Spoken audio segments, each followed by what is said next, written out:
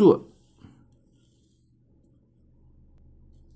两个撇一定要有区别，横竖不容易写，要写的直。下面这个横要平，好做。这最容易出现错误的就是这两个撇啊。本来这个大家的写法就是这样啊，就是就就就就非常，你看，其实两个撇啊，它是平行的，但是在启功体书法里面故意把它设计成一个是直的又细。又细又直，一个就是又粗又弯，这就是艺术的对比啊。它都这样对比，还有一个对比就是这两个竖，这个竖短，这个竖稍微粗一些又非常长，这两个竖一定要平行啊，这是必须平行的。横三个横，一二三，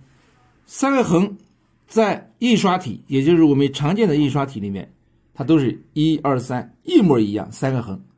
啊。但是在书法里面忌讳这样，所以说第一个横是这个姿态，第二横变成个点，第三个横稍微短一些，把这几点都要写出来以后，你这个字就成功了啊。所以说，呃，这个字啊，看着是撇和竖两部分组成，撇竖横，但是这撇竖横里面有大有文章啊，这些文章讲究，刚才就我给同学们直接点出来的啊，剩下的就是同学们呀，这个道理明白以后，你然后去操作。不要急着拿着毛笔上去，就是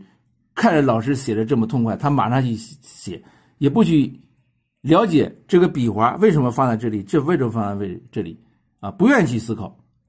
你现在不思考，你写多长时间也没有进步。为什么？因为以后所有的汉字都要涉及到这些知识，这些知识啊，在每一个汉字里面经常出现。你现在花时间去它搞明白了，以后你遇到那个字儿。你不用老师讲，你就能会会写，所以我我重我非常重视，一定要懂这个笔画为什么这样写，要懂这个，不不能笔葫芦画瓢啊，急着去描描了半天也不知道为什么这个撇它是这样，这还是这样，不知道它的原理啊，艺术的理论他一点也不知道，这样写书法，书法本身就是一个抽象的东西啊，非常高级高级别的一一种这个艺术创作。你脑子要要是不愿意动这个脑子啊，在书法上你不会有进有进步的啊，这也是我们的呃心里话肺腑之言啊。有的教学培训班他不讲这么多，反正是高兴让你拿着字描红字体去描，描完了以后你很有很有成就感啊，看我写的这个字也挺像，实际上你是描出来的，这个笔画到底是怎么关系，你一点没有收获，因为老师没有跟你讲。你有什么有什么收获啊？你学多长时间，你就最后让你写个字儿，你写不出来，啊，很多人练书法练了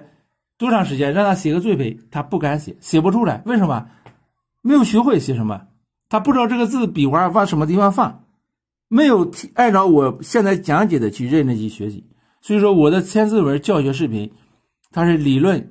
和操作是同样重要的。啊，我讲字的时候，包括这节课，我多部分是在讲这个理论、这个道理。道理明白以后啊，谁都会做啊。拿着毛笔去画两道，这个都是容易啊，不是特别难的啊。